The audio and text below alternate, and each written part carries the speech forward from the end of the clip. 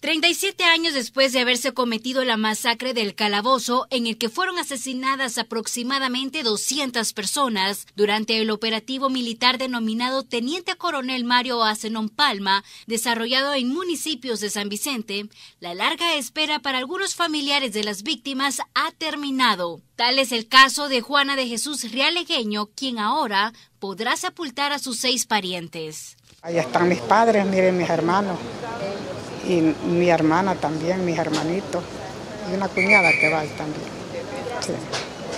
Y, allí en la cuenta de eso, se llevaron el niño, a, mi mamá se lo quitaron, se llevaron mi niño, el primero que yo tuve, se lo llevaron. Yo no sabía el paradero de él. El masacre lo que hicieron fue atacar a la gente, pues. Sí, hacer gran balacera, que decía que están matando a todos los guerrilleros y qué. Ahí no habían guerrilleros, ahí había gente sin defensa.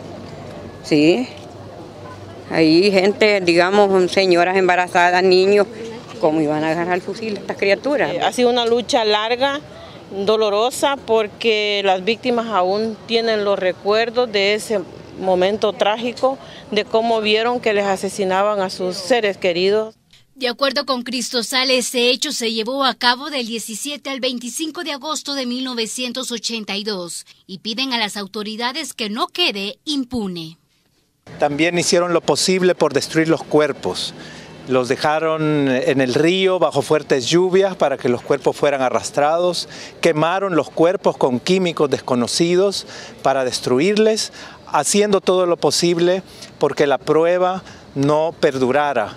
Sin embargo, la verdad sigue saliendo a luz estas, cientos de personas asesinadas en San Vicente, en el, lugar llamado El Calabozo en 1982, fueron exterminadas durante un operativo militar dirigido por Sigifredo Ochoa Pérez.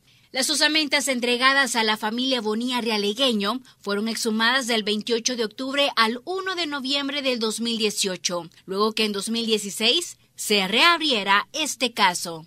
Con imágenes e informe de Marcela Rivera.